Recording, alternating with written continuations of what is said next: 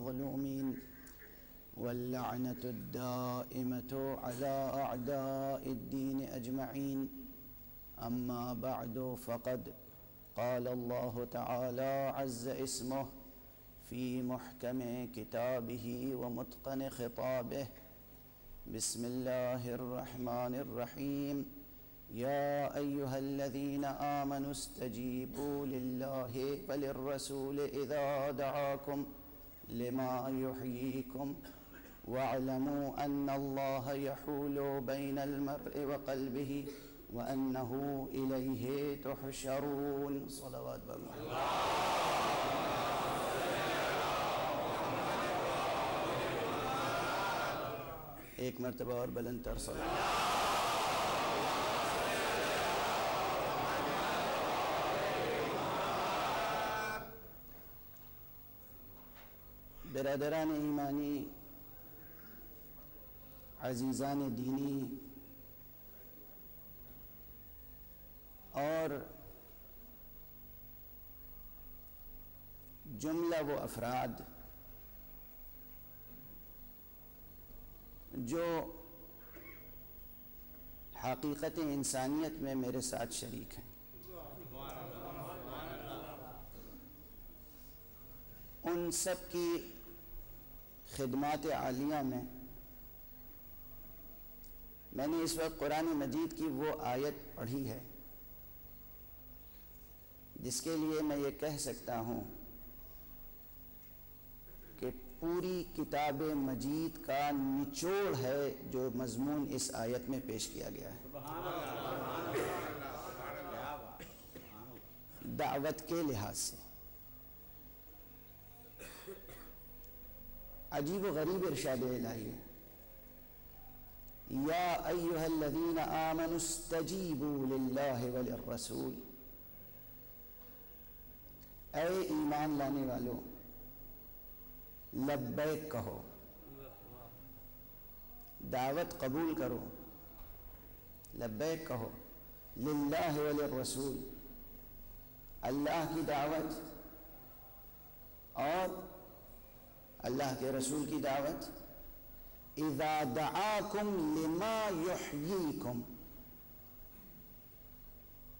जब वो तुम्हें पुकारें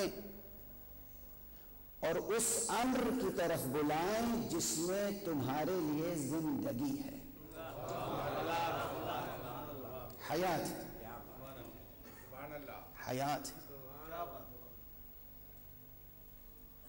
वालमू अल्लाह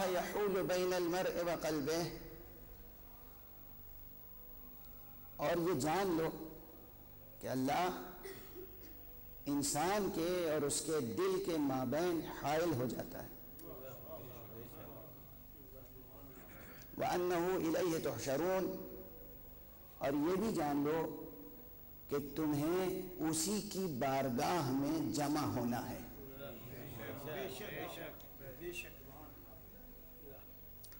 कोई इंसानी कलम होता तो इबारत यूँ ना होती। ये कलम मशीयत है। और इंसान की फिक्री, कजरवी का पहले से लिहाज कर लिया गया है।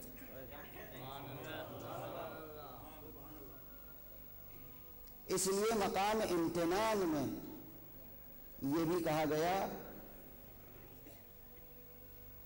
कि तुम्हें अल्लाह और अल्लाह का रसूल जिस अम्र की तरफ़ बुलाता है, वो अम्र कोई मामूली अम्र नहीं है। वो अम्र वो है कि जिसमें तुम्हारे लिए हयात है, ज़िंदगी है, फना नहीं है, हलाकत नहीं है। हयात है, ज़िंदगी है। और फ़ौरन जहन इंसानी में चूँकि बहुत से सवाल आ सकते हैं इसलिए वो तमाम सवालात वो तमाम एतराज़ात जो जहन इंसानी में आ सकते हैं उन्हें मुकद्दर मानकर ये कहा जा रहा है कि वालमो और जान लो कि अल्लाह इंसान और उसके दिल के दरमियान हायल हो जाता है। इन दोनों फिक्रों के दरमियान वो तमाम एतराज़ात मौजूद हैं, जो जहन बशरी में आ सकते हैं। और फिर आयत का अख्ताम बहरहाल हशर खेज बयान है ये, हशर खेज, हशर सामा। मैं फिर अर्ज़ करूँ, तवज्जो दिलाऊं, जहाँ तक भी आवाज़ जा रही है, ये फिक्रे ये अल्फाज, ये आयत किसी मामूली किताब की आयत नहीं है। ये कुरान मजीद की आयत है। वाही है।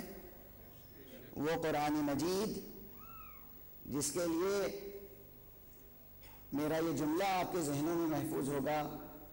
बारहा कहा है मैंने। और अपने बुज़ुर्गों से नकल करता रहा हूँ कि अगर पूरी ज़िंदगी इंसान सिर्फ़ इस नेमत के हसूल के अदाए शुक्र के लिए एक सजदे में गुजार दे तो अदाए शुक्र नहीं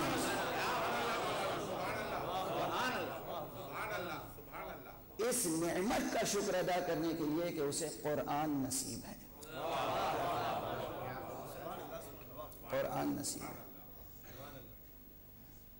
तमाम आलम बशरीत के लिए खसूसियत से, मुस्लिमीन के लिए मोमिन के लिए खसूसियत से, लेकिन तमाम आलम बशरीत के लिए भी। उनके लिए जाए शुक्र है कि इंसान के हाथों में कुरान जैसी किताब है।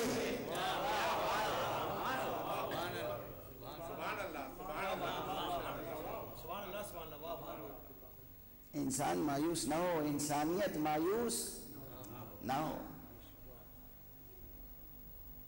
इंसान के सरमाए में अभी कुरान है और इस कुरान में जो कुछ है, वो वही है कि जिसमें इंसान के लिए हयात है। इस कुरान में जो कुछ है, वो नुस्खे ज़िंदगी है। जमानत ज़िंदगी है। अगर इंसान कुरान मजीद पर अमल पैरा हो जाए तो गर्द फना उसके दामन हयात तक पहुँच नहीं सकती।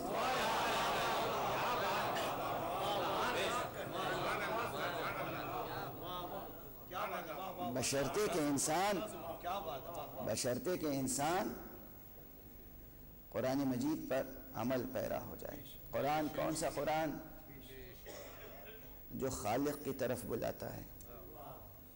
कुरान, कौन सा कुरान? जो बताता है कि अल्लाह नूर समावत वल अल्लाह है जो आसमानों का और ज़मीन का नूर है। कुरान, वो कुरान जो इंसान को तोहद हक की तरफ़ बुलाता है। कुरान, वो कुरान जो इंसान को तालीम वहदत देता है।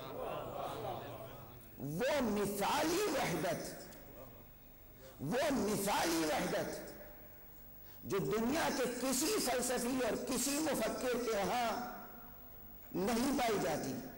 वहदत का ये कामिल तस्वुर जो दीन इस्लाम में मौजूद है, ये खुद इस बात की दलील है कि दीन इस्लाम किसी बशरी जहन की तखलीक नहीं है।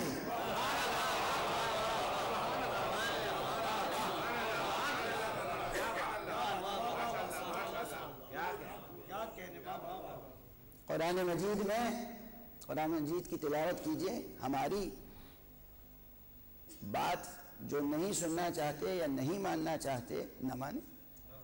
कुरान मजीद की तिलावत करें तो वो खुद कुरान मजीद में दाखिली शवाहिद पाएँगे।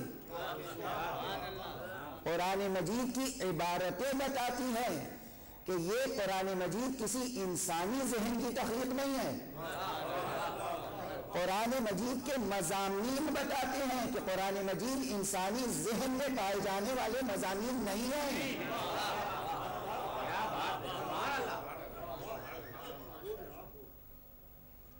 तमाम सरमाया जो इंसानी जहन की तखलीक है, जो दस्त इंसान से तखलीक हुआ है, जो इंसानी कलम से तखलीक हुआ है, जितना लिटरेचर है, तारीख के मालूम सिरे से लेकर आज तक वो सब पढ़ लीजिए। और उसके बाद कुरान मजीद पढ़िए। मुआजना कीजिए। वो तस्वुरात वो नजरियात वो मफाहिम वो मानी जो कुरान मजीद में पाए जाते हैं वो खुद बताते हैं कि ये जहन बशरी नहीं बोल रहा है। दाखिली शवाहिद। और तो और। आप सिर्फ़ सूरह मुबारक तोहहीद पढ़ लीजिए। कुल हुवल्लाहु अहद, अल्लाह समद, लम यलिद वलम यूलद वलम यकुल लहू कुफुवन अहद। ये मजमून जहन बशरी में आ ही नहीं सकता।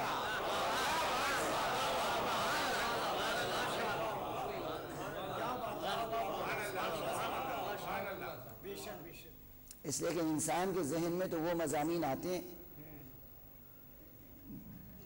जिनसे इंसान दो चार रहता है।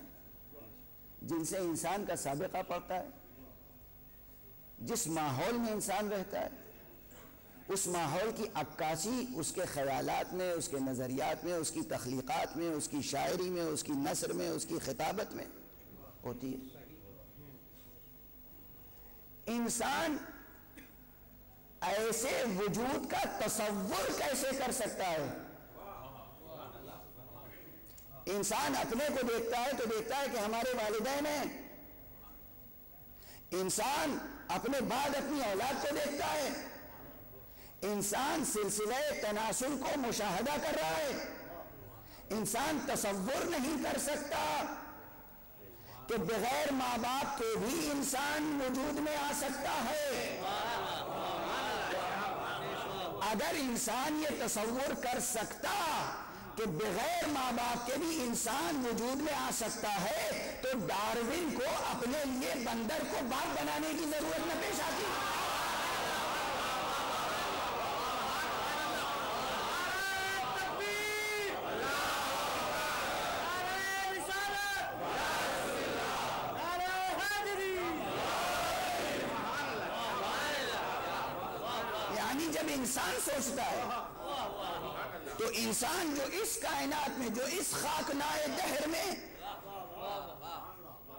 जो सिलसिला असबाब और इलल का मौजूद है, जो लॉ, कॉज और एंड इफ़ेक्ट का मौजूद है, वो उससे आज़ाद नहीं हो सकता। इंसान जमानी है, इंसान मकानी है।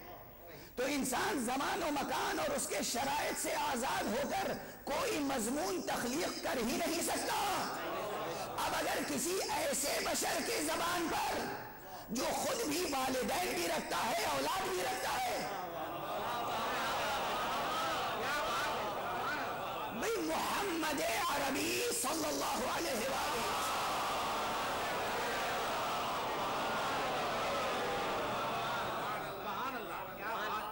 मोहम्मद इब्न अब्दुल्ला है कि नहीं? मोहम्मद दुर्र यतीम आमिना है कि नहीं? मोहम्मद वालिद फातिमा है कि नहीं? मोहम्मद वालिद इब्राहिम है कि नहीं? मोहम्मद के पास वालिदैन भी हैं। मोहम्मद के पास औलाद भी है, मोहम्मद के पास शजरा और खानदान भी है। वो मोहम्मद ये मजमून कहाँ से ले आए कि लम यलिद वलम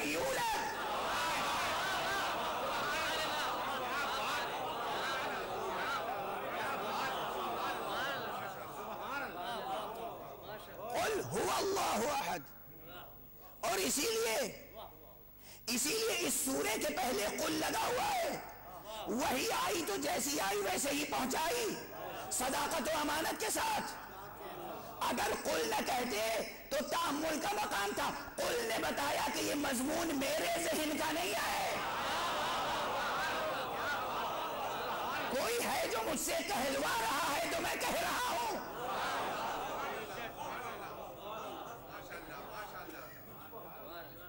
भाई अगर हमें तोहीद का पैगाम देना था तो बस कह देते, अल्लाह अहद, अल्लाह वाहिद अल्लाह एक है, अल्लाह यकता है, अल्लाह समद, अल्लाह बेनियाज है। कुल हो अल्लाह अहद? कह दीजिए कि अल्लाह एक है। इसके मानी यह है कि सारी दुनिया जान ले कि यह मजमून आपके जहन की तखलीक नहीं है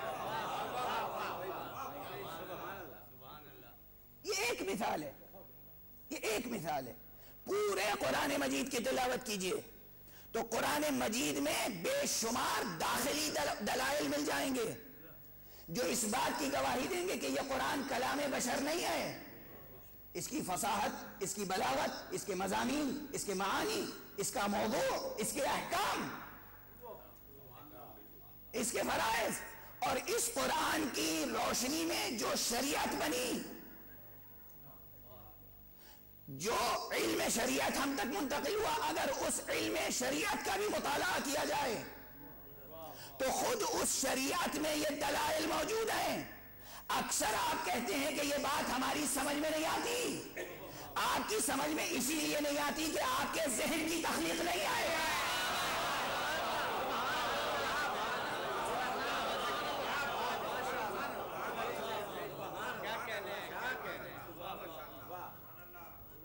सही है, समझ में नहीं आती। दीन समझ में नहीं आता, इसलिए समझ में नहीं आता कि वो आपकी तखलीक नहीं है। आपकी, यानी इंसान की तखलीक होती तो इंसान समझ लेता। ये इंसान की तखलीक नहीं है। तो बेशुमार चीज़ें हैं कि जो दलालत रखती हैं कि खुद दीन अपाए इलाही है, अपाए रब्बानी है। और इस दीन के हसूल पर भी जो इस हकीकत तक पहुँच गए, जितना शुक्र अदा करें कम है। जितना शुक्र अदा करें नेमत इस्लाम के हसूल पर नेमत कुरान के हसूल पर, उसके बाद नेमत इस्लाम के हसूल पर जितना शुक्र करें कम है। और जिसके वास्ते से जब कुरान इतनी बड़ी नेमत है कि शुक्र लाजिम है जब इस्लाम इतनी बड़ी नहमत है कि शुक्र लाजिम है तो जिस वजूद मुकदस के हाथों से कुरान और इस्लाम मिला, उस नबी के हसूल पर कितना शुक्र अदा करना चाहिए?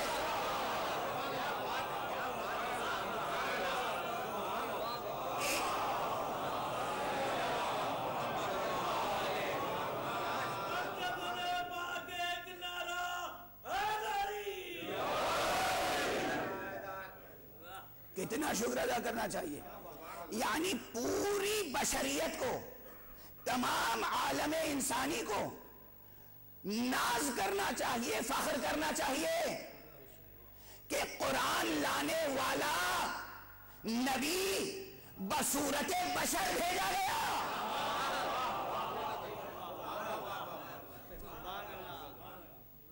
बसूरत बशर भेजा गया। किसी और सूरत में नहीं भेजा गया। ये सबब बन गया कि हम भी हम भी अपने को अशरफुल मखलूकत समझने लगे।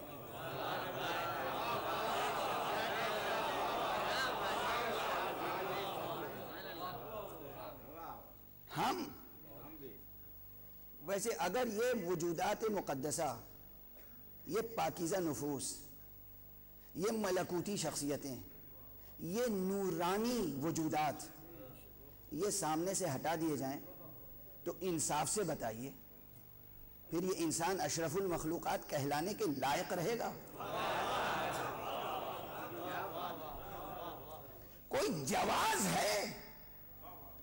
कौन सी खराबी है जो इंसान में नहीं है? कौन सी बुराई है जो इंसान में नहीं है? कौन सा नक्स है जो इंसान में नहीं है? और अगर कमालात हैं तो सब छुपे हुए। ये कमालात अगर ज़ाहिर हुए तो इन्हीं वजूदात में।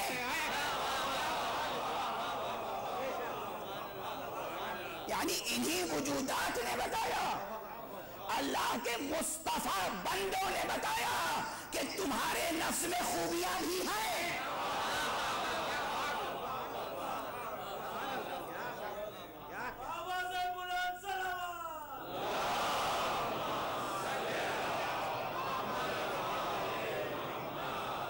और इसी एतबार से हम उनके तुफैल उनके तुफैल में अशरफुल मखलूक़ात हो गए। तो हम उनके वजूद पर जितना भी शुक्र अदा करें कम है। और अब एक मंजिल और। कुरान, इस्लाम और मुस्तफ़ा सल्लल्लाहु अलैहि वसल्लम।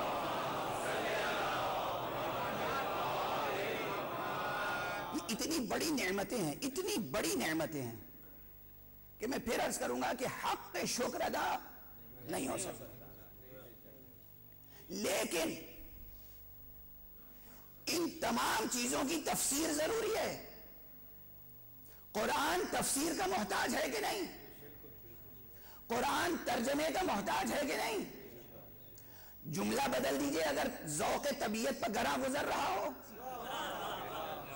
कुरान तर्जमे का मोहताज नहीं हम कुरान के तर्जमे के मोहताज हैं कि नहीं?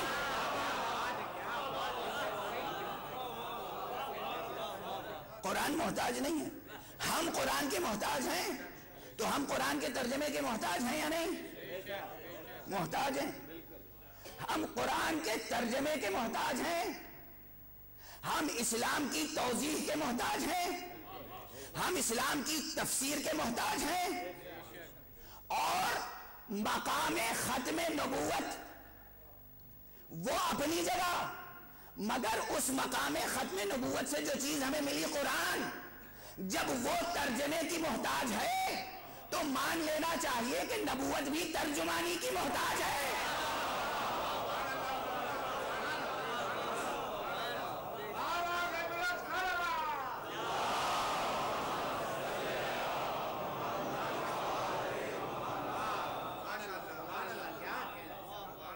नबूवत भी तर्जुमानी की मोहताज है।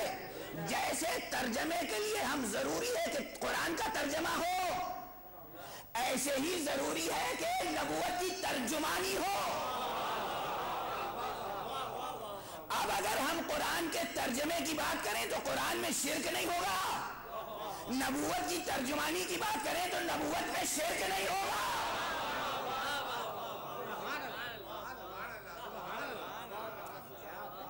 कुरान ने कह दिया। इस्लाम। दीन तो अल्लाह के नज़दीक बस इस्लाम है। कुरान ने कह दिया, हम सब मानते हैं, तस्लीम करते हैं, मगर अब आगे कौन बताए कि खुद इस्लाम क्या है? कुरान मजीद में इस्लाम है, मगर कुरान मजीद मजीद तफसीर, तावील, ताबीर, तर्जमे, तर्जमानी तशरीफ़ इसकी ज़रूरत है। इसकी ज़रूरत है और ये इंसानी ज़रूरत है, बशरी ज़रूरत है। और इसीलिए जिस कुरान मजीद में यह आया इन दीन इस्लाम उसी में पैगंबर को हुक्म दिया गया कि आप इस्लाम पहुंचाएँ, अपने अकरबा को डराएँ, आम उम्मत तक पहुंचाएँ, तमाम इंसानों तक पहुंचाएँ। ये सब अहकाम कुरान में है। और उसके बाद ये भी कुरान ही में मौजूद है कि कयाम कयामत तक के लिए ऐसा रास्ता दिखा के आए कि अब दीन में कोई तहरीफ ना होने पाए। अब कुरान में कोई तहरीफ ना होने पाए। जरा ठहर जाइए यहाँ पर, एक मसला और। अमूमी जौक फ़िक्र के लिए अर्ज़ कर दूँ कि ये इस्लाम है इस्लाम। जो इंसान की रूहों और अकलों को एड्रेस करता है। दस्ते अदब जोड़ के अर्ज़ कर रहा हूँ, काश ये जुमला रजिस्टर हो जाए।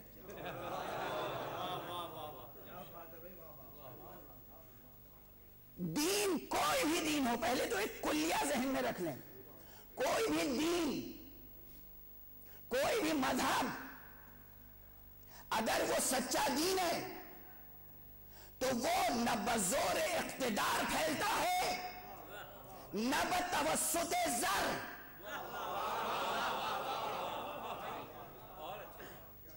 दीन न पैसे से फैलता है, न दीन तलवार से फैलता है। फैल ही नहीं सकता, मुमकिन ही नहीं है। ये बात जहनों से निकाल दें, ये शुभा बातिल है, मुगालता है। चूँकि दीन उस वक्त तक कायम ही नहीं हो सकता, जब तक के रूह मुतमिन न हो। दीन का ताल्लुक रूह से है, रूह बशरी, रूह है इंसानी। दीन रूह को एड्रेस करता है। आकल रूहानी मलका है, जिसे आप कहते हैं कल्ब, दिल। वो दिल उससे मुराद रूह है। उससे मुराद जात है आपकी, असल जात। ये सिर्फ़ जो आपके सीने में कल्ब सनूबरी है। जाहिरी। ये मुराद नहीं है। कल्ब से मुराद वो हकीकत है जिसकी तरफ़ आप इशारा करते हैं, मैं कहकर। मैं। मैं कहकर जिस हकीकत की तरफ़ इशारा करते हैं, वो है आपका कल्ब। वो है आपकी रूह। दीन जब तक रूह मुतमिन नहीं होती, कायम ही नहीं होता। जब तक अकल मुतमिन नहीं होती, दीन कायम ही नहीं हो सकता। और ये बात समझाने के लिए किसी दलील की ज़रूरत नहीं है। जो भी साहिब अकल है, वो समझता है कि तलवार से कभी अकल मुतमिन नहीं होती।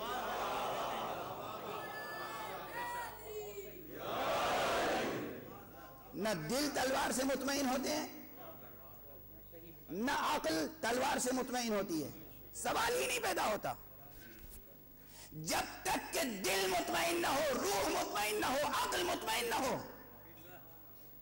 तलवार थोड़ी देर के लिए जबान पर पाबंदी बिठा सकती है। इख्तिदार इंसान का सर झुका सकता है, दिल नहीं झुका सकता।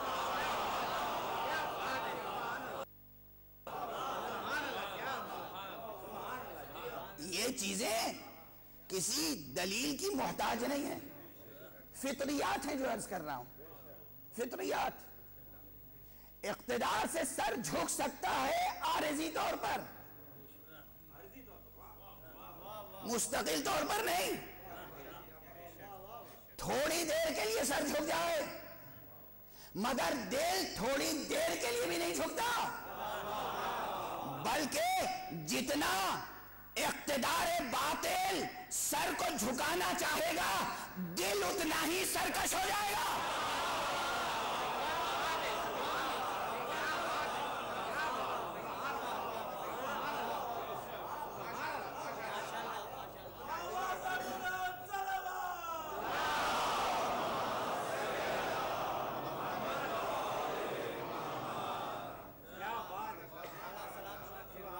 दिल सरकश हो जाएगा।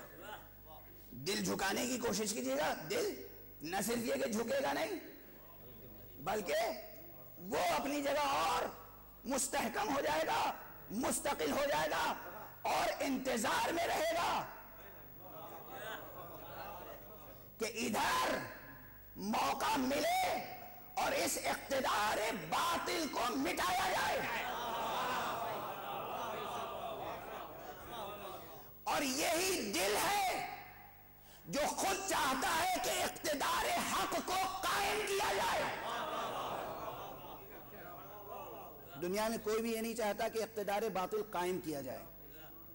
दुनिया में सब ये चाहते हैं कि इख्तिदार हक को कायम किया जाए। सब यही चाहते हैं। हर फर्द बशर। हर फर्द बशर। तो मसला यही है कि असल मामला दिल का है। असल मामला रूह का है। असल मामला अकल का है। और अकल मुतमिन कैसे होती है?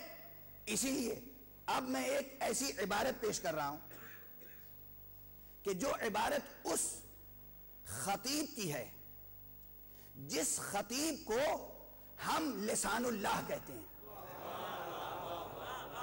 जिस खतीब को हम खतीब नहजुल बलागा कहते हैं।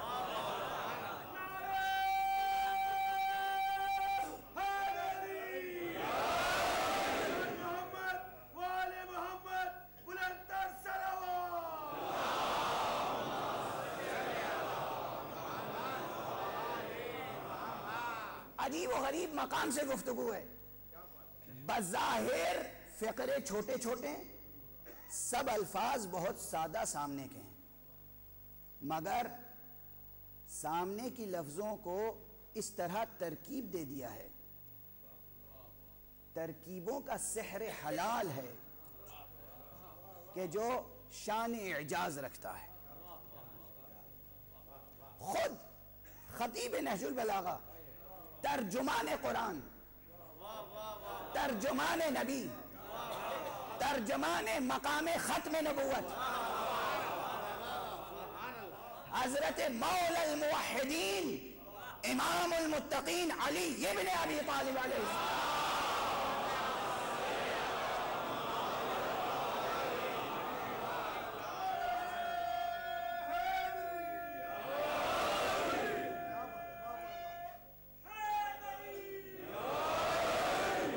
फरमाते हैं इस्लाम नस्बतन लम यनसुबन कबली। मैं, एक मकाम था, एक वक्त था, एक लम्हा था, और क्या लम्हा था? क्या साथ थी, क्या मकाम था? क्या मुखातबीन रहे होंगे? कि खुद हज़रत ने एक वजद और कैफ की हालत में खिताब किया है और कहा आज मैं इस्लाम की ऐसी तारीफ़ करूँगा जो मुझसे पहले किसी ने न की है। आज मैं इस्लाम का ऐसा वस्फ बयान करूँगा। नसब अनसुबो वस्फ बयान करने के लिए भी आता है। अनसुबन इस्लाम नस्बतन। आज मैं इस्लाम की ऐसी तारीफ़ बयान करूँगा, ऐसा वस्फ बयान करूँगा जो मुझसे पहले किसी ने बयान न किया होगा। अब इसके बाद जो फिक्रे कहेंगे, वो सादा फिक्रे तो नहीं होंगे। कितने फिक्रंगेज होंगे? फरमाते अल इस्लाम हुआ तस्लीम। इस्लाम तस्लीम है। तस्लीम किसकी सिफत होती है? जिस्म की या जान की? अल इस्लाम हुआ तस्लीम। व तस्लीम हुआ यकीन वल यकीन हुआ तस्दीक। व तस्दीक हुआ इकरार वल इकरार हुआ अदा वल अदा हुआ अमल अजीब व गरीब इबारत है अजीब व गरीब इबारत है सादा तौर पर तर्जमा पढ़ लेने से बस मसला हल होगा नहीं ये इबारत मुजजात खिताबत में से है मुजजात अदब में से है यह इबारत जिसमें इस्लाम की तारीफ़ पेश की है। इस्लाम क्या है? अल इस्लाम हुआ तस्लीम। इस्लाम सर बसर तस्लीम हो जाना है। सर बसर तस्लीम हो जाना है इस्लाम। सर बसर कब तस्लीम होता है इंसान और बशर? जब तक दिल में यकीन पैदा ना हो यह बात नहीं होती।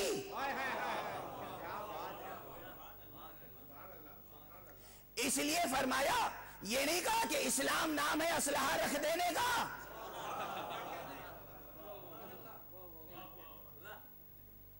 आम इस्तेलाह में सरेंडर हो जाना, उसके कुछ और मानी है। असलहा रखवाना, ये एक अलग मसला है। असलहा रख देना अलग मसला है। दिल का इतमान इसीलिए इबारत जब आगे बढ़ी अल इस्लाम हुआ तस्लीम व तस्लीम हुआ यकीन तस्लीम क्या है? यकीन है। यकीन क्या है? वल यकीन हुआ तस्दीक। इन दोनों में फ़र्क क्या है? यकीन में और तस्दीक में फ़र्क क्या है? तवज्जो है? जो लोग कहते हैं कि इस्लाम या दीन या शरीयत अकल को एड्रेस नहीं करती। शरीयत अकल को एड्रेस नहीं करती। दीन अकल को एड्रेस नहीं करता। उनके लिए यह बात कही जा रही है। अल इस्लाम हुआ तस्लीम। तस्लीम में पूरे वजूद का सर बसर तस्लीम हो जाना ज़िक्र में आ गया, इजमालन। इजमालन। पूरा वजूद बशरी सर बसर तस्लीम हो जाए जाते हक के सामने। पूरा वजूद। इजमालन। ये बयान आ गया। अब इस इजमाल की तफसील है। इसी इजमाल की तशरी है कि ये सरबसर तस्लीम हो जाने के मानी क्या है? कि दिल इंसान का साहिब यकीन हो। और चूँकि हम आम तौर पर उर्फन दिल, नफ्स के, रूह के मुख्तलिफ़ मलकात को, मुख्तलिफ़ मलकात को मुस्तकिल तौर पर पहचानते हैं, उनका बाहमी रब्त हमारी निगाह से ओझल रहता है। कौन है जो इल्म नफ्स पढ़े? कौन है जो फलसफा पढ़े? कौन है जो इरफान पढ़े? तो जो जात की वहदत है, उसकी कुतें अलग अलग हैं। वो कुतें मुस्तकिल तौर पर, बिल इस्तकलाल इंसान देखता है। दिल को मुस्तकिल समझता है आकल को मुस्तकिल समझता है। अगरचे दोनों बाहम मुर्तबित हैं, इर्तबात है दोनों में।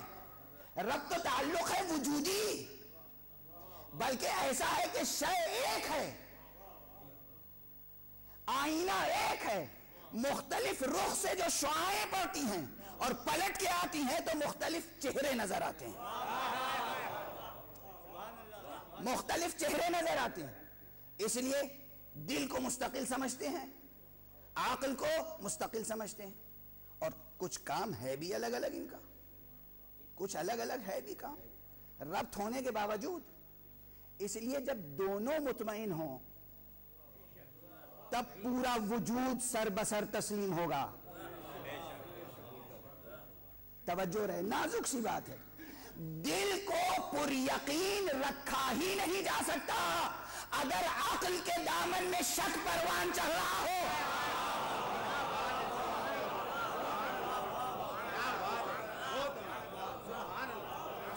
अगर अकल तशकीक का शिकार है तो दिल साहिब यकीन नहीं हो सकता। इसलिए तस्लीम की जब तशरीह की तो कहा तस्लीम हो यकीन तस्लीम क्या है? दिल का यकीन। और दिल का यकीन क्या है? हो तस्दीक। यानी यकीन वो है कि अकल भी उसकी तस्दीक करे। तवज्जो रहे। तवज्जो रहे। अब ज़ाहिर सी बात है कि वक्त महदूद है। पैगाम भी इसी महदूद वक्त में आप तक पहुंचाना है। इसलिए फिर तवज्जो रखिए कि सिर्फ़ ये ना कहा जाए, बहुत से अब मजाहिब यहाँ से एक रुख निकाल सकते हैं। बहुत से लोग कहते हैं, साहब, दीन और मज़हब दिल का मसला है। हमारा दिल इस पर मुतमिन है। इसलिए आप हमें ना छेड़िए, कोई और दावत दावत न दीजिए। कोई और बात हम सुनने के लिए तैयार नहीं है। इसलिए बस एक बात उनसे कहनी चाहिए, और वो ये कि दिल आपका मुतमिन है। क्या खुद आपकी अक्ल भी आपके दिल का साथ देती है?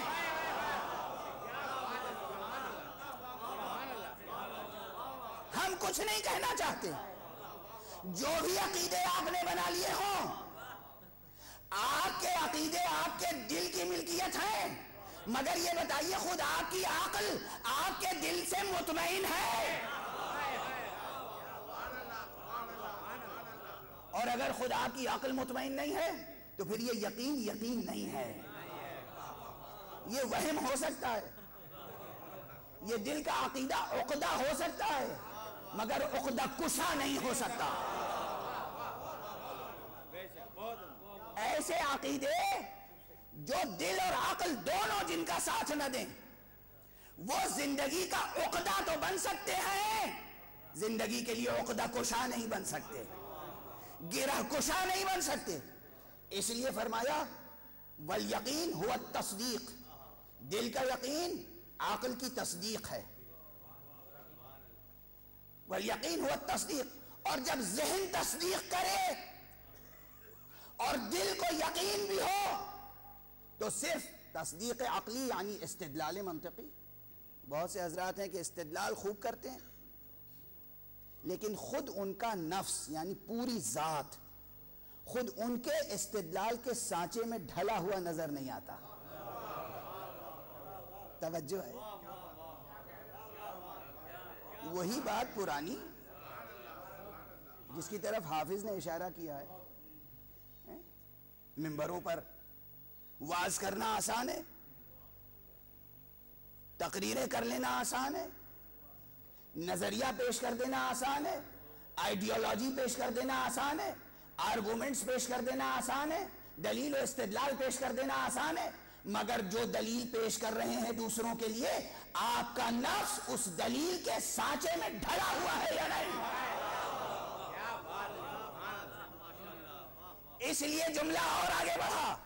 और वो जुमला ये कि वल, वल, वल तस्दीक हुवल इकरार।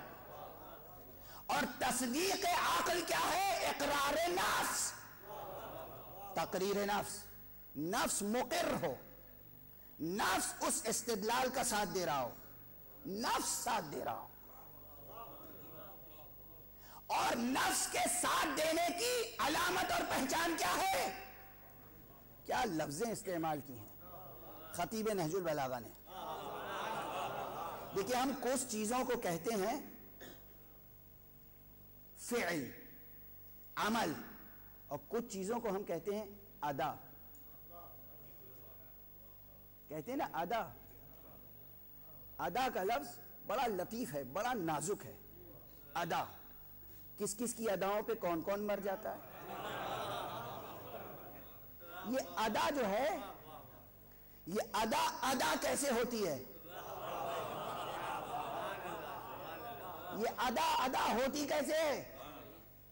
ये अदा तब होती है कि जब एक ही मौजू हो, एक ही मजमून हो, एक ही कैफियत हो, एक ही नज़रिया हो, एक ही हकीकत हो, जो दिल और दिमाग, रूह और अकल सब पर छाया हुआ हो और नस ढल चुका हो उसी हकीकत में। नस उस हकीकत के साथ मुत्तहिद हो चुका हो। वहदत हासिल हो चुकी हो। जब वहदत हासिल हो चुकी होगी तो फिर जबान खुलेगी जुम्बिश जबान जुम्बिश लब उसी हकीकत की तर्जुमानी करेगी। आँखें उसी हकीकत की तर्जमानी करेंगी। चेहरा उसी हकीकत की तर्जमानी करेगा। खामोश रहेगा इंसान, उसकी रफ्तार उसी हकीकत की तर्जमानी करेगी। उसका कयाम उसी हकीकत की तर्जमानी करेगा। उसका करूब उसी हकीकत की तर्जमानी करेगा।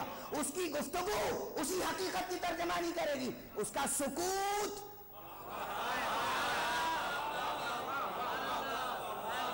सुकूत खामोशी। सलावात भेजनी है तो बुलंद आवाज़ से भेजिए।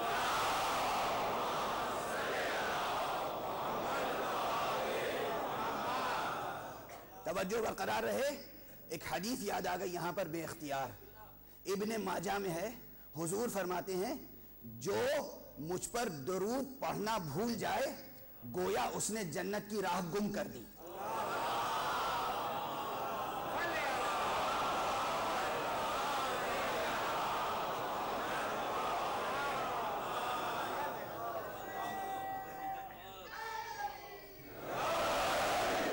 जन्नत की राह। बहरहाल, अब बात आ रही है जन्नत की राह से करीब। सुकूत भी तर्जुमान बन जाता है उस हकीकत का। जब नफ्स, दिल, दिमाग, दिल, अकली इस्तेदलाल सब एक हकीकत के तर्जमान हो तो फिर नफ्स की हर अदा सरबसर तस्लीम हो जाती। है और अदा के बाद फिर एक लफ्ज इस्तेमाल किया, वल अदा हुवल अमल। छह मरहले हैं, छह। मैं कहता हूँ, सैर और सलूक के ये छह मरहले हैं, जिसकी तरफ़ अमीरुल मोमिनीन ने इशारा फरमाया है। और ये ऐसी तारीफ़ और तोजी है इस्लाम की, कि जिसके लिए आपने खुद फरमाया कि मुझसे कबल किसी ने ऐसी तारीफ़ नहीं की है। यानी इस्लाम तो कबूल कर लिया, मगर पूरे वजूद के साथ दिल और अकल का रिश्ता भी मज़बूत हो जाए। आकल और नफ्स का रिश्ता भी मज़बूत हो जाए। नज़रिए और अमल का रिश्ता भी मज़बूत हो जाए। ऐसी मुकम्मल, मुनसजिम वहदत हो कि सनवियत का कहीं गुजर भी न रह जाए। डुअलिटी सनवियत। जात इंसानी में न पाई जाए। वो है कमाल इस्लाम वो है कमाल इस्लाम यकीन और कल्ब, विजदानी और जौकी उलूम से ताल्लुक रखती हैं ये बातें। तस्दीक, इकरार, इस्तदलाली उलूम से ताल्लुक रखती हैं ये बातें। अमीरुल मोमिनीन हैं, जिन्होंने तहरीक इस्लाम को मदरसा बना दिया।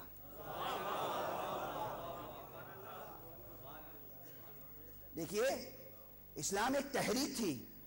कोई तहरीक उस वक्त तक पायदार नहीं होती जब तक उसे मदरसा न मिल जाए। और कोई मदरसा उस वक्त तक लाजवाल नहीं होता जब तक उसे कोई ज़िंदा तहरीक न मिल जाए। पैगंबर खुदा ने मकाम खत्म नबूवत पर फायज होते होते हुए एक तहरीक इस्लाम पेश की थी कयाम कयामत तक के लिए। इस तहरीक को इस्तकलाल आता किया जाते अली इब्ने तालिब ने। मदरसा बनाकर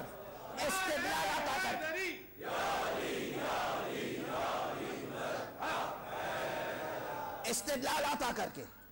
और फिर मदरसे को फिर तहरीक की ज़रूरत थी।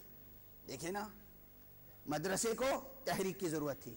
फिर तहरीक मिली, लेकिन उससे कबल मैं एक जुमला अर्ज़ कर दूँ कि जिस कुरान ने कहा था इन दीन इस्लाम जिस कुरान ने पैगंबर को रोशनास किया, जिस पैगंबर ने कुरान को रोशनास किया पैगंबर और कुरान दोनों ने मिलकर एक हकीकत को और रोशनास किया। वो हकीकत जब रोशनास की है पैगंबर ने तो यूँ ही नहीं की है। उस हकीकत की तरफ़ खुद पैगंबर को रोशनास करने के लिए हक ने जब पैगाम दिया है, दावत दी है तो फिर ज़मीन पर दावत नहीं दी। आर्श पर बुलाया। उन बुलंदियों पर बुलाया कि जो बुलंदियाँ जमानो जमानियात और मकानो मकानियात से बुलंद हैं। और वहाँ बुलाकर कहा कि तुम मकाम खत्म नबूवत पर फायज हो। इस खत्म नबूवत को महफूज रखने के लिए एक हिसार विलायत भी दरकार है।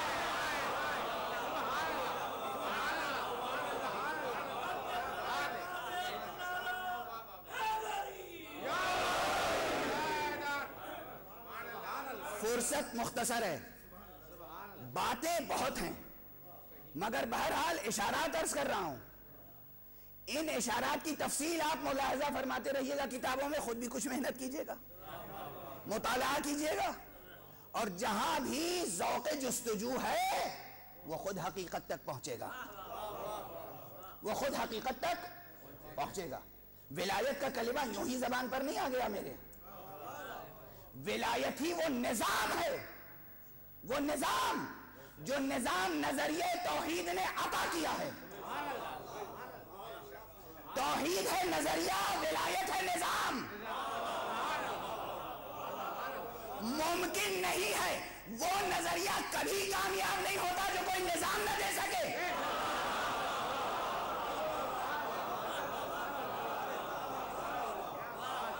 तोहीद नज़रिया है, विलायत निज़ाम। विलायत निज़ाम है, तोहीद नज़रिया। दोनों का रिश्ता है। कुरान मजीद में जाके आए, विलायत पढ़ लीजिएगा। इन्नमा वलीयुकुमुल्लाह व रसूलुहु वल्लज़ीना आमनुल्लज़ीना युकीमूना सलात व यूतूना ज़कात व हुम राकिऊन आए, विलायत पढ़िएगा और उसका फलसफा देखिएगा। मैं सिर्फ़ हवाला देते हुए आगे बढ़ रहा हूँ। और निज़ाम विलायत को पेश करना कुदरत के लिए इसलिए ज़रूरी था ताकि खत में नबूवत बाकी रहे। खत में नबूवत बाकी रहे। और इसीलिए तौहीद जब पहुंचाई पैगंबर ने तो दीन के कमाल तक पहुँचने की सनद नहीं दी। हालाँकि अव्वल आखिर दीन सिर्फ़ तौहीद है। जहन कहीं उलझे नहीं। अव्वल आखिर दीन बस तौहीद है। हमसे मुतालबा तौहीद का है तौहीद पर मर मिटने का सलीका कौन बताए?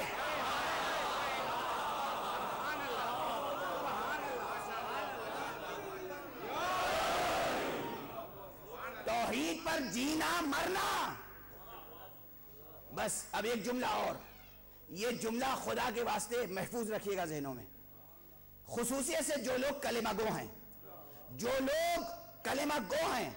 जो लोग दीन इस्लाम में यकीन रखते हैं, जब वो पूछते हैं, जवान या बुज़ुर्ग, कि बताइए हमारी गरज खिलकत क्या है? हमें पैदा क्यों किया? हमें पैदा ही क्यों किया? मैं बस एक जुमला कहता हूँ, और ये कोई खतीबाना जुमला नहीं है। हमें सिर्फ़ इसलिए पैदा किया है कि हम अपने पूरे वजूद के साथ जाते हक पर गवाह बन जाए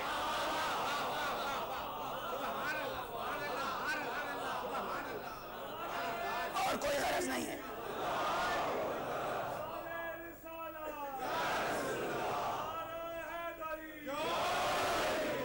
बरादरान मुस्लिमीन, आपकी हमारी गरज खिलकत बस एक है कि हम ये जो हकीकत है ना, ला इलाहा इल्लल्लाह मुहम्मद रसूलुल्लाह सल्लल्लाहु अलैहि वसल्लम।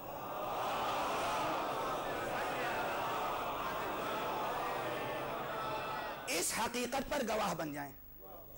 अपने पूरे वजूद के साथ। और कोई गरज खिलकत नहीं है। हम घर में हो तो इसी हकीकत के गवाह।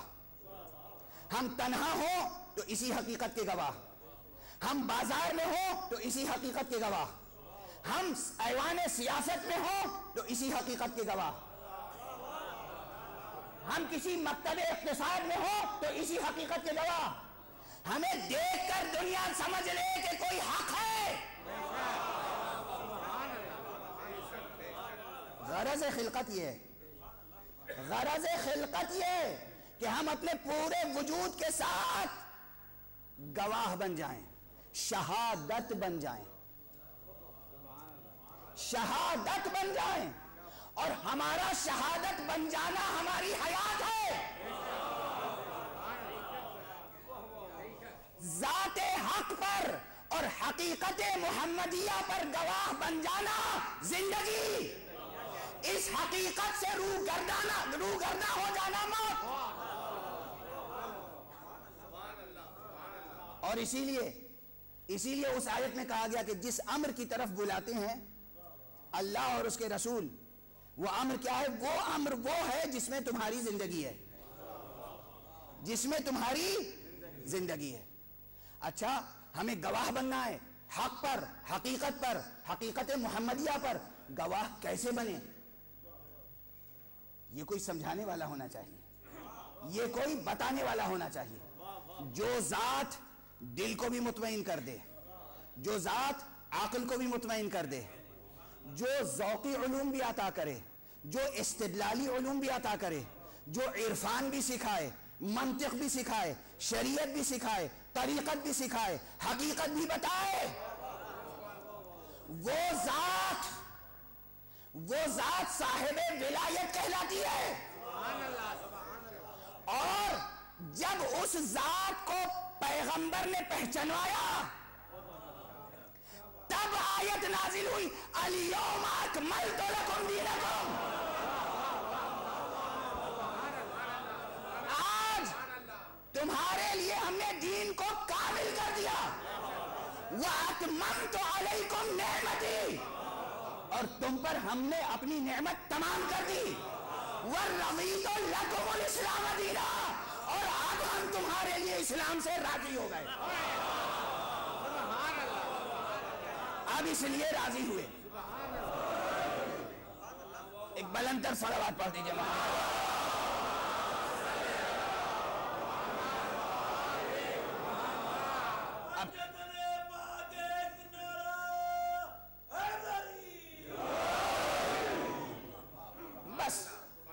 एक जुमला अर्ज़ करना चाहता हूँ। एक जुमला के इस जात गिरामी, विलायत माब इमाम आदम औलिया आदम औलिया हज़रत अमीर अली तालिब।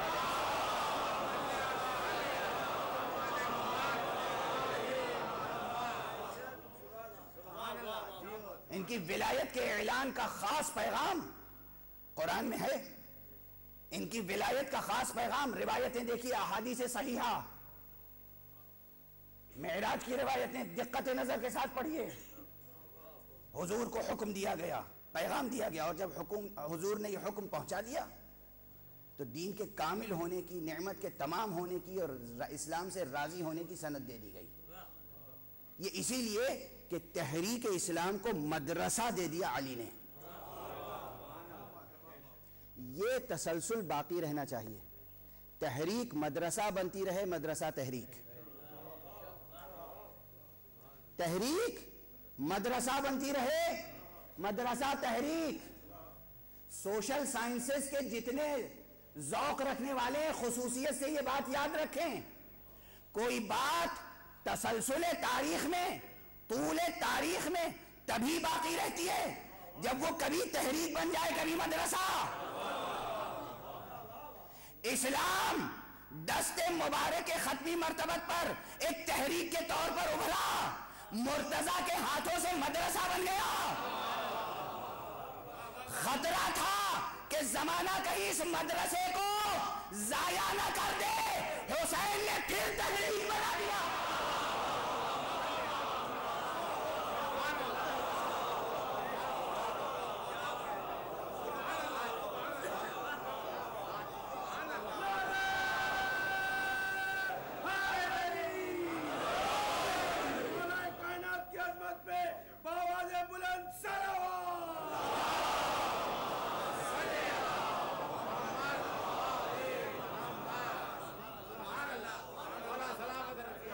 तहरीक चली मुस्तफ़ा से।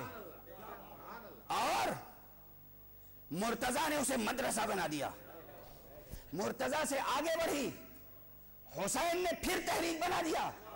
हुसैन से आगे बढ़ी। अली सानी जैनुल आबदीन ने फिर मदरसा बना दिया। बस आज की गुफ्तगु मुकम्मल हो गई। अब आप जाएँ और मुताला करें। मुताला करें। पूरी ज़िम्मेदारी से अर्ज़ कर रहा हूँ। जो कुछ मैंने अर्ज़ किया है, हज़ारों सफ़े पढ़ेंगे आप तो बात समझ में आएगी। मगर मुतमिन हो के समझ में आएगी। मुतमिन हो कि आपकी समझ में आएगी ये बात। मुस्तफ़ा ने तहरीक दी, मुर्तजा ने मदरसा, हुसैन ने फिर तहरीक दी, फिर जैन आबिदीन ने मदरसा बनाया। यह तसलसल। हमारा तारीख में।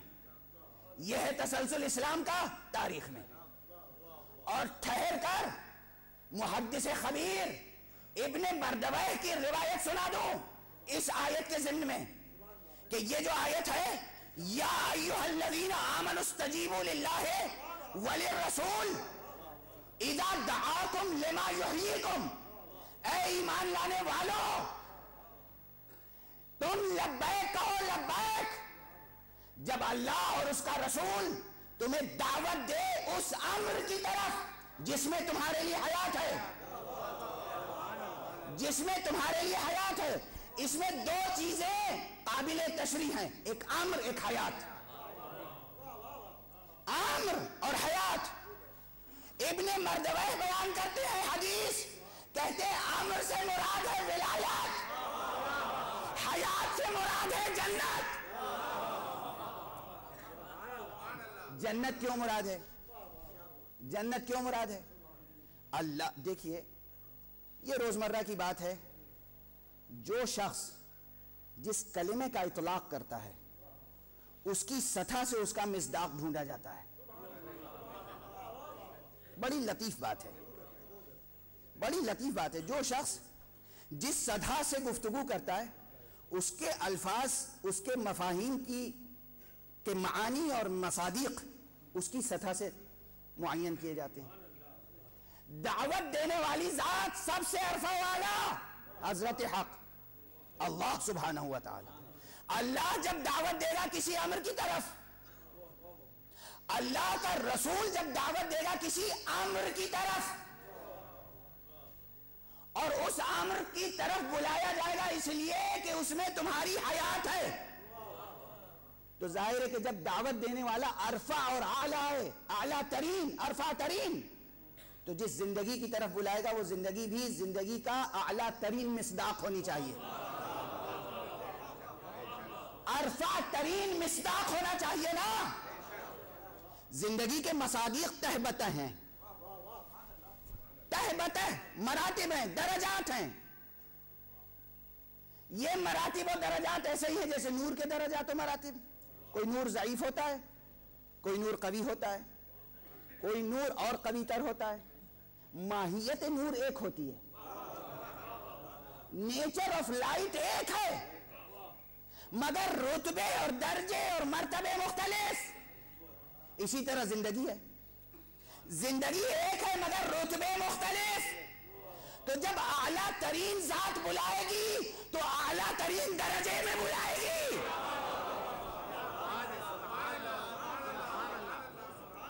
इसलिए हयात से मुराद है जन्नत। और आला तरीन जात जब बुलाएगी, और आला तरीन मिसदाक तक बुलाएगी तो बुलाने का वसीला जो आमिर होगा, वो भी आला तरीन होगा ना।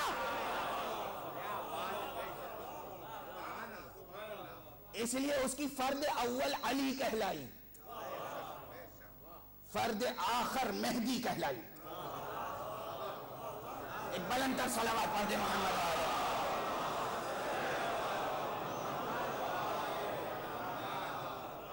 फर्द अव्वल अली है, बुलंद। फर्द आखिर मेहदी है। और हम नाम मुस्तफ़ा, हम नाम पैगंबर। और उसकी बुलंदी देखना हो, वक्त नहीं है। बुलंदी देखना हो तो बस एक हदीस सही है बुखारी की, सुन लीजिए। सही है बुखारी में एक जुमला है, छोटा सा, सोचते रहिए। हुजूर ने फरमाया कैफान तुम इदा नजल अबन मरियम फीकुम व इमामुकुम मिनकुम।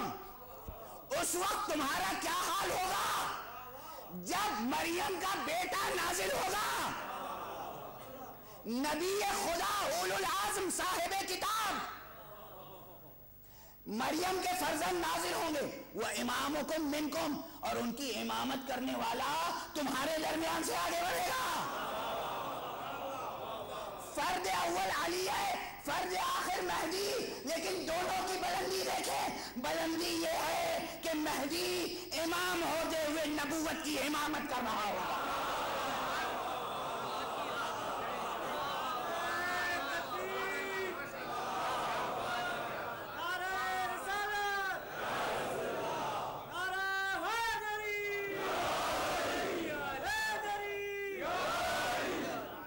मैं नहीं अर्ज़ कर रहा हूँ किताब सही है बुखारी।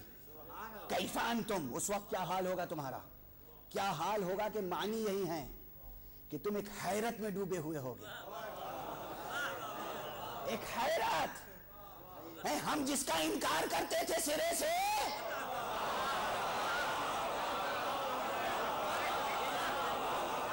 वो ये है। और यही नहीं कि ये है। अरे, ये है।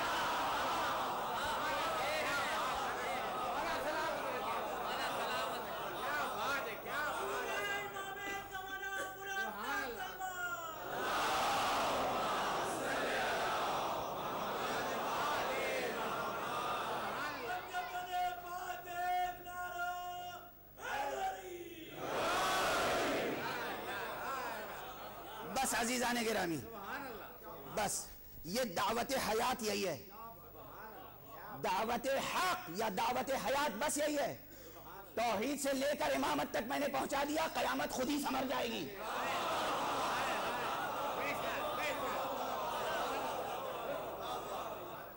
तौहीद से लेकर इमामत तक इस खादिम ने आपको पहुँचा दिया। अब भी अगर कयामत न बने कयामत है।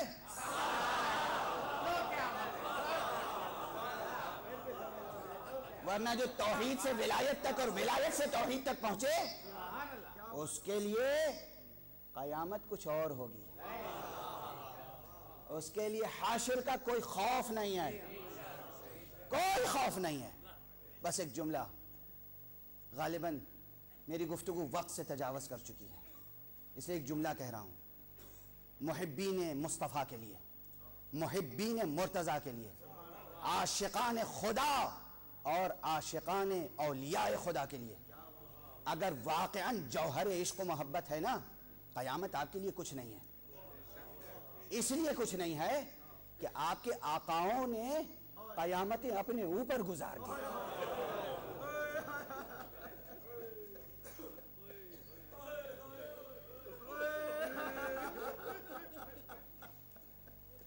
आशुराए मुहर्रम से बढ़कर क्या कयामत होगी?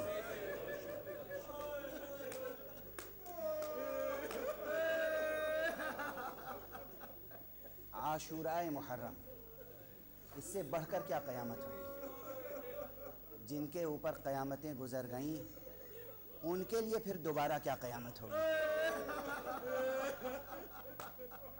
बस। इस्लाम जो मुस्तफ़ा से चला था, एक तहरीक की शक्ल में। मुर्तज़ा ने जिसे मदरसा बनाया। वो इस्लाम दोबारा तारीख के ऐसे मोड़ पर आ गया था कि उसे फिर एक तहरीकी क़ुव्वत देना थी। इसलिए फ़र्जंद मुस्तफ़ा, जान मुस्तफ़ा, मदीने से चला। मदीने से हिजरत करबला की तरफ़। ये हर चीज़ अलामती है, हकीकी होने के बावजूद। हकीकी होने के बावस मदीना बसा हुआ शहर। मदीना वो मकान जहाँ तमद्दुन उरूज पर पहुँच गया हो। तमद्दुन उरूज पर जब पहुँचता है तो मदरसे बनते हैं। लेकिन वीराने को जब मदीना बनाना हो तो तहरीकें पैदा करनी पड़ती है। इसलिए मदीने से हिजरत करबला की तरफ़ इसमें असरार है, असरार रमोज अहले इरफान के लिए, अरबाब हिकमत के लिए, जान रसूल, फर्जंद रसूल 28 रजब को, सन 60 हिजरी में, मदीने से रुखसत हुआ। और मदीने से रुखसत होना, मैं एक जुमला अर्ज़ करूँ अल्लामा शहरिस्तानी साहिब किताब अन्नहवतुल हुसैनिया ने लिखा है कि मदीने से जिस शब हुसैन रुखसत हुए हैं, वो शब शब आशूरा से कम नहीं थी।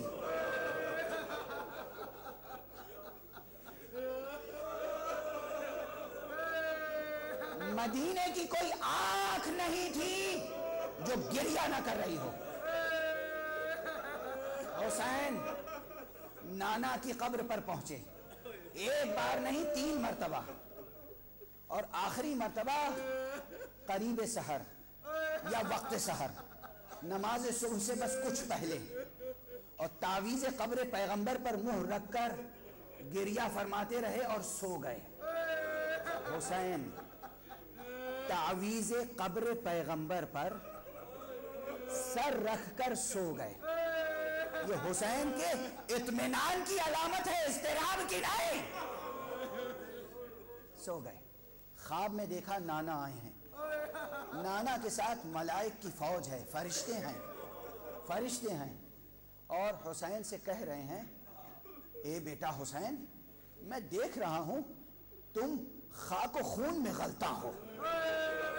शहादत की खबर दे रहे हैं। करबला में आने वाले वाकयात की खबर दे रहे हैं। जनाब सैद शहदा ने उसी मकाम पर फरमाया, उसी ख्वाब में।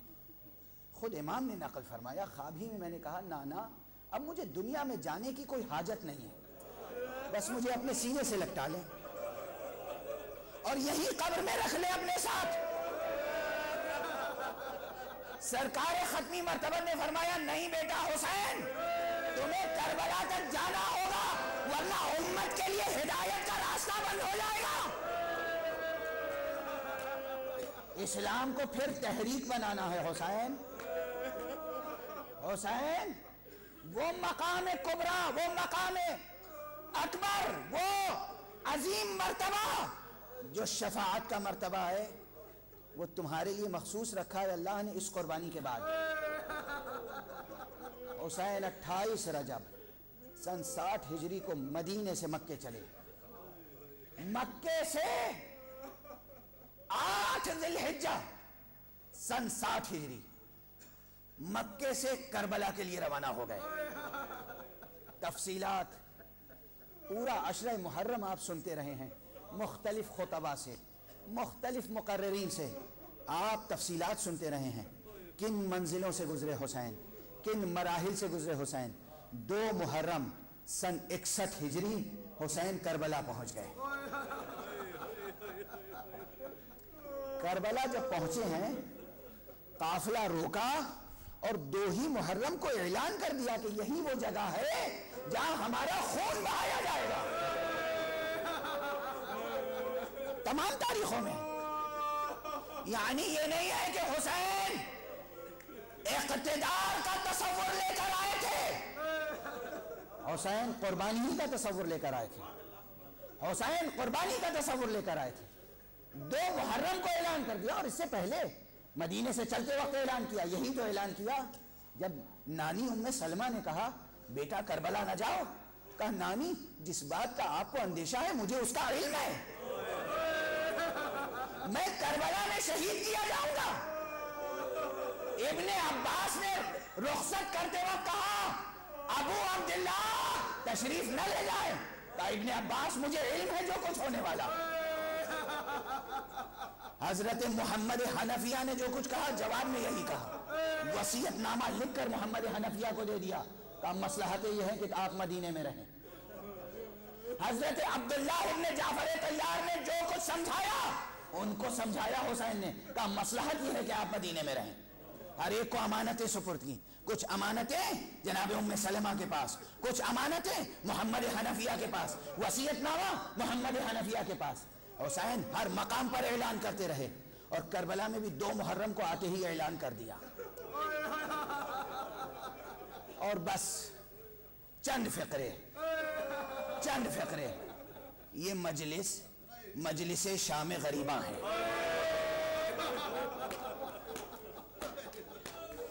दो मुहर्रम से दस मुहर्रम तक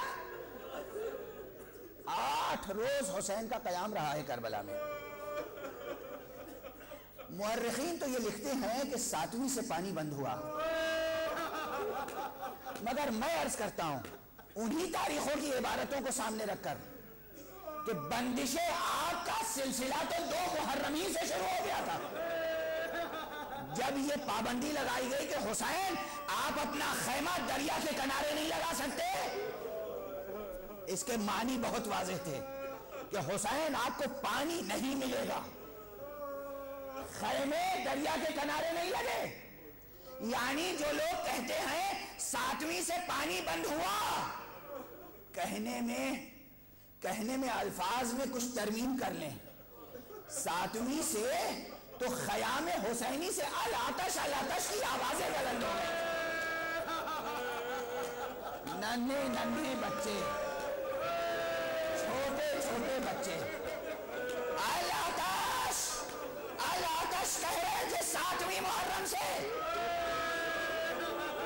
हुसैन कोहे साब्र।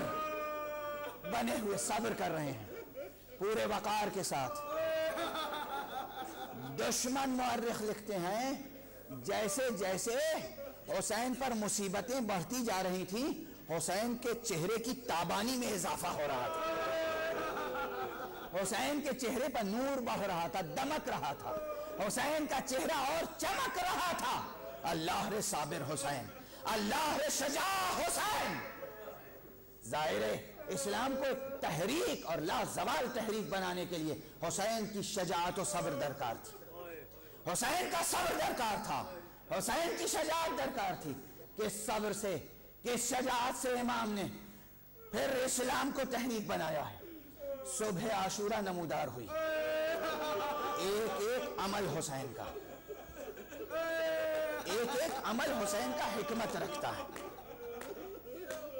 मैंने अपने बुज़ुर्ग मुहद्दिसीन और मुजतहिदीन की जबान से यह सुना है और बिल इत्तिसाल नकल कर रहा हूँ कि सुबह आशूरा, सहर आशूरा, हुसैन ने नमाज़ के लिए अजान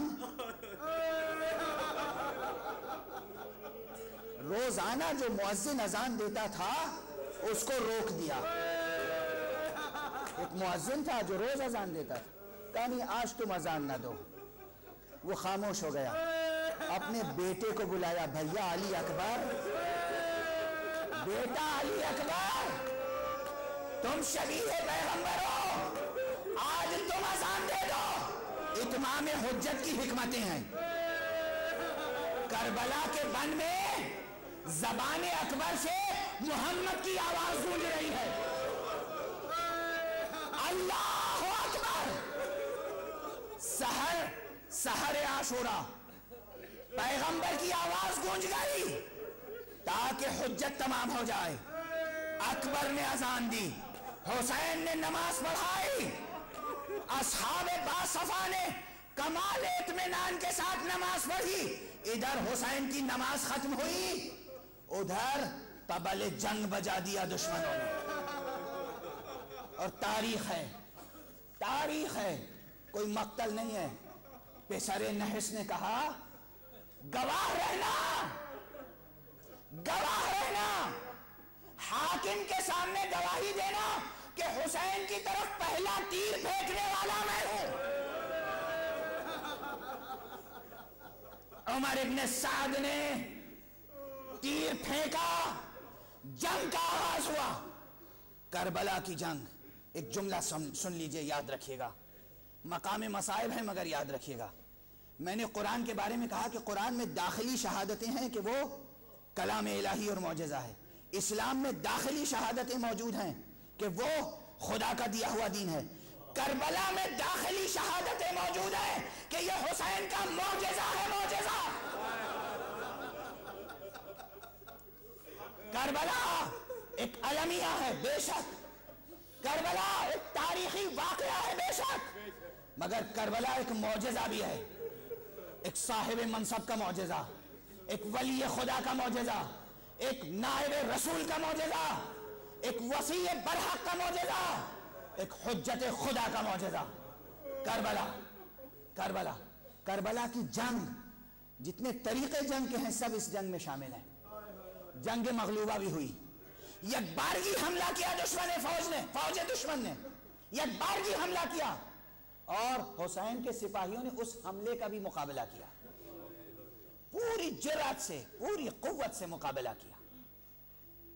उसके बाद यह भी हुआ कि एक के सामने एक आता रहा। मुबारस तलबी होती रही। एक ने ललकारा, दूसरे ने जवाब दिया।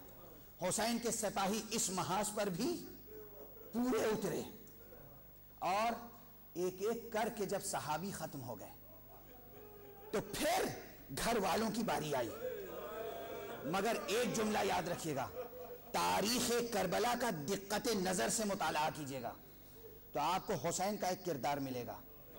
सबसे पहले हुसैन ने किसी को नहीं भेजना चाहा। अल्लाह अल्लाह अल्लाह हुसैन है, हुसैन। सबसे पहले हुसैन ने चाहा कि वो अपने बेटे अली अकबर ही को मैदान हुसैन असहाब आगे आ गए। मौला, हमारे होते हुए ये कैसे मुमकिन है? कि शबी है पैगंबर मैदान में चला जाए। इसलिए पहले सब अंसार शहीद हुए। एक एक करके अबू वहाब अब्दुल्ला इब्ने उमैर कलबी से लेकर, मुस्लिम इब्ने हौसला से लेकर, हबीब इब्ने मजाहिर से लेकर, जुहैर और से लेकर एक एक सहाबी शहीद हो गया। जो जवान थे, वो भी शहीद हुए। जो बूढ़े थे, वो भी शहीद हुए। अनस इब्ने हर्ष या अनस इब्ने हारिस, जो सहाबी पैगंबर है सहाबी पैगंबर सहाबी पैगंबर। और जिनसे किताब इसकी आबिब ने अब्दुल बर उठाकर देखें, किताब इसाबा उठाकर देखें, उसमें हदीस पैगंबर नकल की है खुद सहाबी रसूल अनस ने, कि रसूल ने कहा, मेरा बेटा हुसैन करबला के बन में जबा किया जाएगा। और तुम में से जो उस मौके पर हो, उस पर फ़र्ज़ है कि हुसैन की नुसरत करे। यह हदीस पैगंबर है। हज़रत अनस रावी हैं। और खुद अनस ने इस हदीस पर अमल किया। अनस ने इस हदीस पर अमल किया। अनस की उम्र उस वक्त इतनी ज़्यादा थी कि कमर झुक गई थी। भवें लटक गई थी। उन्होंने एक नैजा पुष्ट से बांधा। कमर कसी। एक रूमाल लिया, भवों को ऊपर उठाया। पेशानी पे रूमाल कस के बांधा। और जब हुसैन के पास आए फर्जंद रसूल, मरने की रजा दे दीजिए। हुसैन बेख्तियार रोने लगे।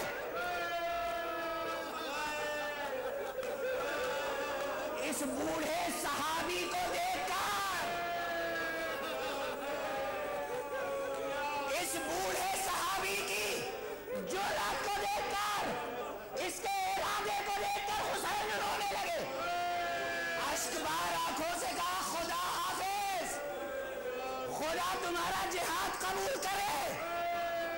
सहाबी भी गुजर गया।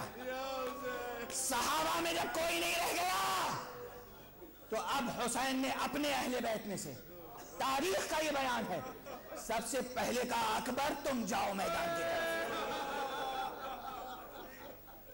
मगर जब अकबर जाने लगे तो हुसैन का हाल मुतगैर हो गया। क्यों मुतगैर हुआ? इसलिए नहीं कि बेटा था। तवज्जो रखिएगा। हुसैन, मुहाफिज तौहीद, हुसैन। हुसैन, मुहाफिज खत्म नबूवत, हुसैन। हुसैन, नवास रसूल और आशिक रसूल, हुसैन। हुसैन के हाल में तगैर इसलिए आया कि हुसैन ने खुदा को गवाह करके बताया। वजह तगैर अल्लाह शद कौम। तू गवाह रहना इस कौम नाबकार पर? फकत बरजा इलैहिम गुलामुन कि अब इनकी तरफ़ वो जवान जा रहा है? अशबहुन्ना से खलकन व खुलकन व बेरसूल वो जवान जा रहा है जो तेरे रसूल से मुशाबे है और ऐसा मुशाबे जो खिलकत में खुल्क में रफ्तार और गुफ्तार में। शबीह रसूल है। और बात यही नहीं है, सबब तगैर इस्तेराब का सबब, आखिरी जुमला है। वह कुन्ना इदश्तकना इला जियारत नबी, नवरना इले अरे जब हम तेरे नबी की जियारत करना चाहते थे तो हम इस जवान को देख।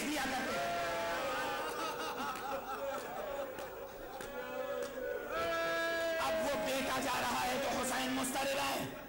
वो बेटा गया। बेटे के बाद भतीजा गया। भतीजा कौन? कासिम। कासिम को रुखसत भी हुसैन ने कैसे किया? कासिम की रुखसत तारीख में है, तारीख में। जब तेरह बरस का भतीजा, जिसके जिस्म पर जरा भी नहीं है तारीख का बयान है। मक्तल नहीं है, मरसिया नहीं है, नौहा नहीं है, तारीख है जरा नहीं है, हल्का सा कुर्ता है। वो भतीजा आया। अम्बू जान, मरने की रजा दे दीजिए। हुसैन ने इस भतीजे के गले में बाहें डालकर गिरिया करना शुरू किया। और चचा और भतीजे दोनों इतना रोए ये भतीजा गया। और उसके बाद चौतीस बरस का भाई अलमदार लश्कर तौहीद परचम बरदार लश्कर खत्म नबुवत अब्बास। अब्बास गए। अब्बास गए। अब्बास को हुसैन ने रुखसत किया, वो भी खास एहतमाम से। मगर अब्बास के मरने की जब खबर आई तो जो जुमला है, वो आपके कानों में गूंज रहा होगा। हुसैन ने कहा था, भैया अब्बास, तुम्हारे मरने ने मेरी कमर तोड़ दी। सिर्फ़ तारीख पढ़ रहा हूँ, तारीख। सिर्फ़ तारीख तारीख करबला। मत में तारीख, फुशुरदा फुशुरदा। अब्बास के बाद हुसैन ने कुछ और कुर्बानियाँ दी हैं, अल्लाह अकबर। जो पूरे मुरक़ आलम में, तारीख़ आलम में, उन कुर्बानियों का कोई कोई जवाब नज़र नहीं आता।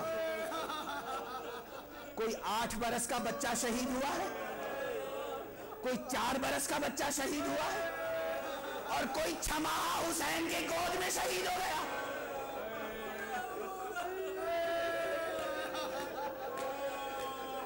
अजरकुम अल्लाह सुबह आशूर से असर आशूर आ गई।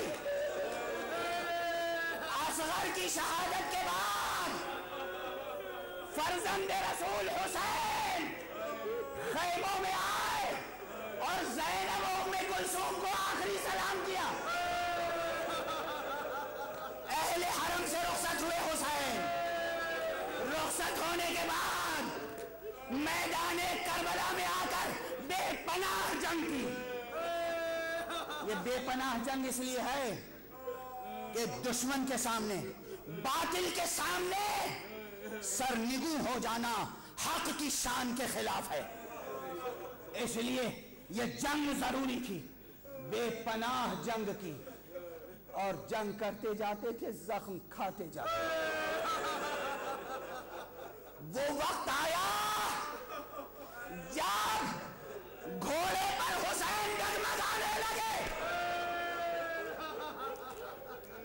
और एक मर्तबा इमाम की जबान मुबारक पे जुमला आया। सब्र नाला बलाए ला इलाहा सिवा। या गियातल मुस्तगीफीन हुसैन खाके कर में करबला पर आ गए। बस बस, अब एक जुमला सुनिए। ये जुमला किसी तारीख में न ढूंढिएगा, मगर सुनिए मुझसे। हुसैन के जिसमें नाजमी पे कितने तीर हैं? कितने तीर हो सकते हैं, बता दीजिए आप। इसलिए कि करबला में दुश्मन फौज कम से कम तीस हज़ार है, कम से कम कम से कम तीस हज़ार। ज़्यादा से ज़्यादा एक लाख से ज़्यादा का लश्कर है कम से कम तीस हज़ार, मैं तीस ही हज़ार मान लेता हूँ। तीस हज़ार लश्कर। इसमें से कई हज़ार सुबह से कातिल हो चुके हैं। मगर फिर भी पच्चीस हज़ार तो होंगे, चौबीस हज़ार तो होंगे, बीस हज़ार तो होंगे। इन बीस हज़ार के ये बीस हज़ार अफराद, इनकी कैफियत क्या थी? तने तनहा हुसैन दरमियान में है। और जिसके पास जो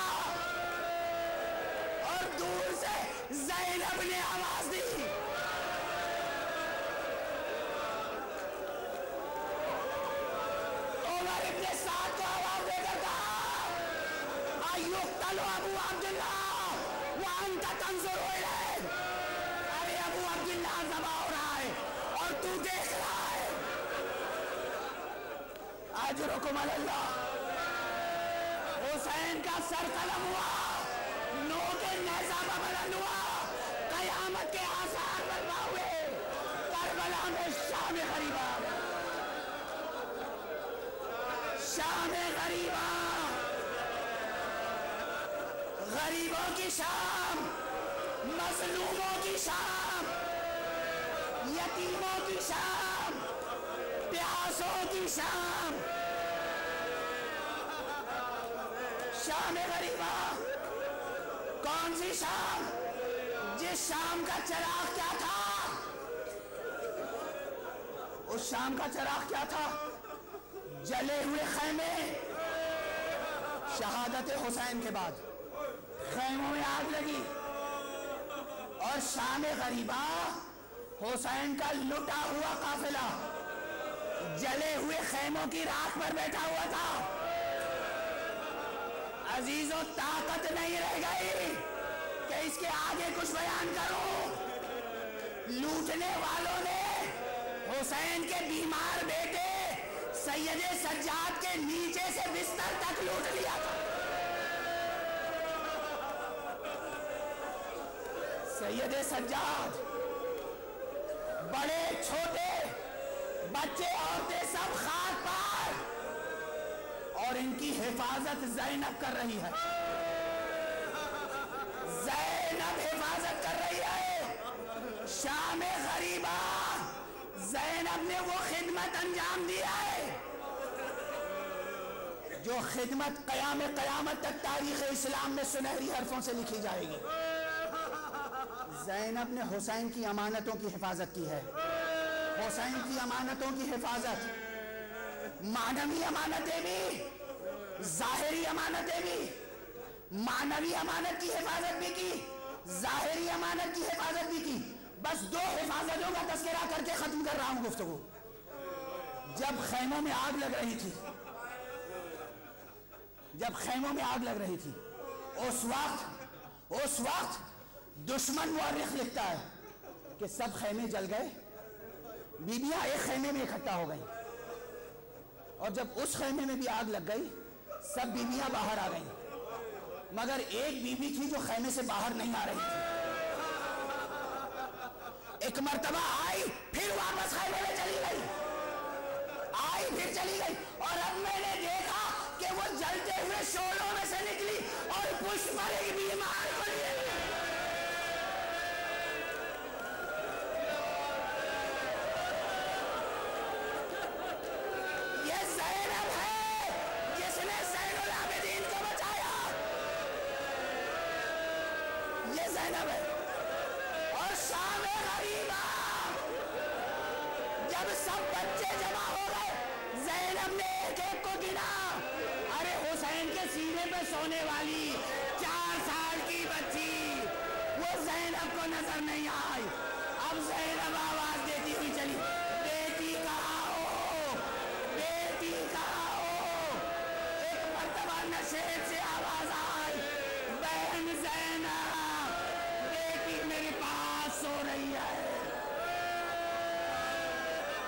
इन्ना लिल्लाह व इन्ना इलैहि राजिऊन रिज़न बिक़ज़ाइही व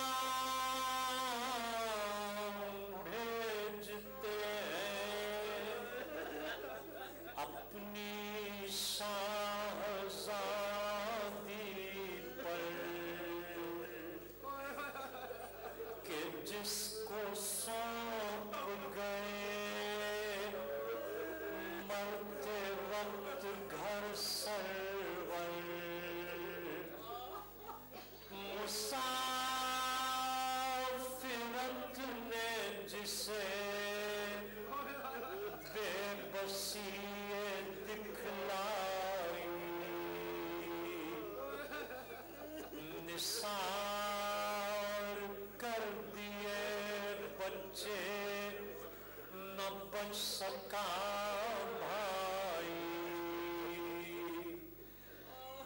असीर हो के जिसे